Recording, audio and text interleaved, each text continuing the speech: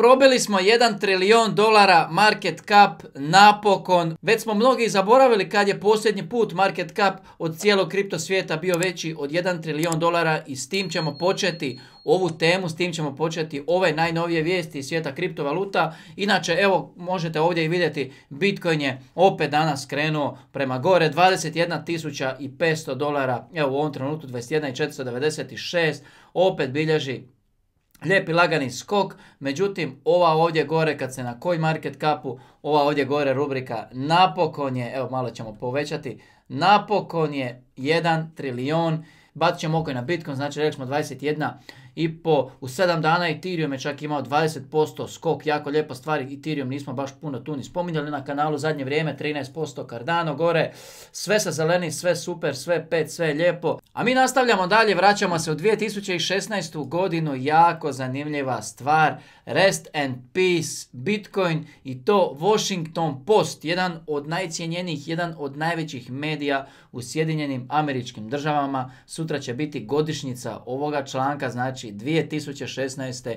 do 2022. Eto, vidjeli smo kako je to Bitcoin umra i kako je to Bitcoin mrtav. A mi se bacamo na sljedeću vijest koja je lijepa i velika vijest za Polygon. Opet neke lijepe vijesti za Polygon. Naravno, National Geographic. Ne znam da li ste čuli za njih, ali oni su odabrali Polygon Matic da bi u partnerstvu sa Polygonom lansirali svoju NFT kolekciju, tako da opet lijepe vijesti za Polygon. Onda idemo dalje, jako zanimljivi zaključci opet na Redditu. Kaže čovjek, ej, pazi ovo, 40 godina radim, 40 godina marljivo štedim te svoje dolare, 40 godina odvajam za mirovinu, 40 godina vjerujem u tu valutu i onda dođe taj Powell i u posljednje dvije godine isprinta od ukupne količine dolara koji postoje, on isprinta 40%.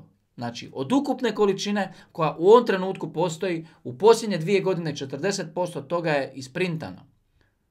Kaže, ja sam falio, ja sam falio, ja sam donio krive životne odluke, međutim, vi ako imate 40 godina ispred vas, ljudi, nemojte štediti za svoju mirovinu, nemojte ulagati u nešto što se može printati. I zato pogađate, zato onaj tamo, zato Bitcoin, ovaj mi se zaključak jako, jako sviđa a u tom smjeru nastavljamo. Danas je izašao podatak od ukupne količine bitcoina koji je raspoloživ u ovome trenutku, sada, čak 85% od te količine drže long term holderi, što nam govori svega 15% bitcoina u cirkulaciji koji trenutno postoji je na mjenjačnicama, s njim se trejda i tako dalje.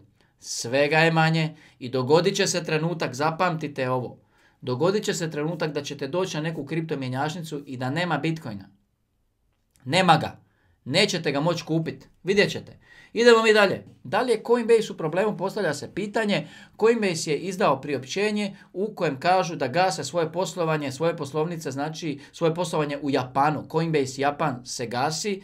Još dva dana imate rok ako želite staviti neka sredstva na Coinbase, a onda imate mjesec dana do 16 drugoga će trajati rok da povučete sva svoja sredstva, da li su mjesec dana svima na Coinbase-u u Japanu, da izađu s Coinbase-a, da se maknu, da povuku svoje kriptovalute i tako dalje.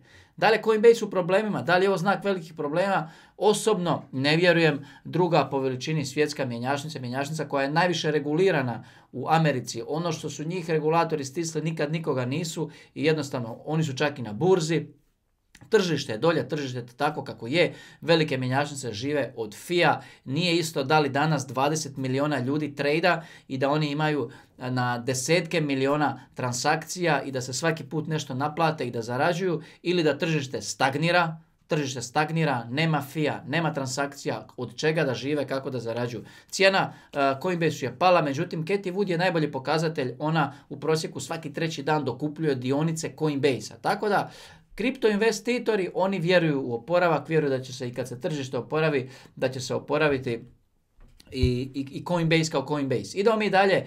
13% Kanađana je već kupilo neku količinu Bitcoina. 13%. Kad kažem neku količinu Bitcoina, to ne znači 1, 2, 3 ili 5. To može biti 0,2. Od ostalih vijesti za sve koji prate možda projekt VRA ili ti ga Veracity, pojavila se informacija, pojavili su se neki screenshotevi na kojima se vidi da je na Binance prebačeno na desetke miliona Veracity-a i sad se postavlja pitanje da li smo došli do točke kada će Binance ulistati Veracity i da li to znači da će cijena ovome projektu ići jako, ići gore, ići u nebo. Ovo prenosim samo zato jer znam da mnogi od vas prate ovaj projekt. Ja osobno nemam ništa u ovom projektu, nisam ulagao u njega i neću ulagati jer jednostavno 20 i nešto tisuće projekata je unutra, toliko dijamanata se skriva, jednostavno nemoguće je sve to pronaći. Možda je Veracity jedan od dijamanata, ne znam, možda vi vjerujete u to, možda pratite. Ja osobno ne, ali je i to jedna vijest koju treba svakako ispratiti za one koji su u njoj. Ovako, idemo dalje, kriptomat, da se vratimo još jedan puta na mjenjačnicu Kriptomat, za sve vas koji još nemate account,